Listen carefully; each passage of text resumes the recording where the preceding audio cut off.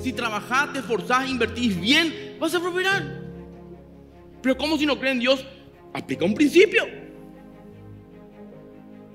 Y yo que creo en Dios, pero son arrogantes, despertar a las 11 de la mañana un lunes para almorzar, porque después tener que dormir la siesta, no vas a prosperar. Pero yo soy un hijo de Dios, no, no, no parece entre paréntesis, ¿verdad? Pero si no aplica el principio, no vas a prosperar.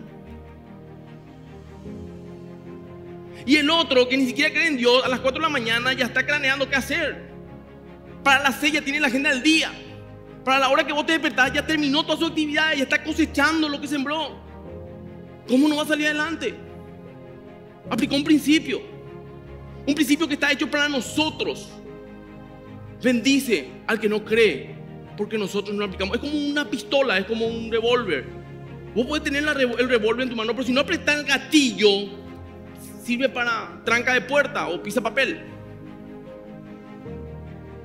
Los cristianos tenemos los principios de Dios para nuestras vidas, el conocimiento, pero no vivimos la palabra. ¿Me explico? No somos hacedores de ella, solo oidores.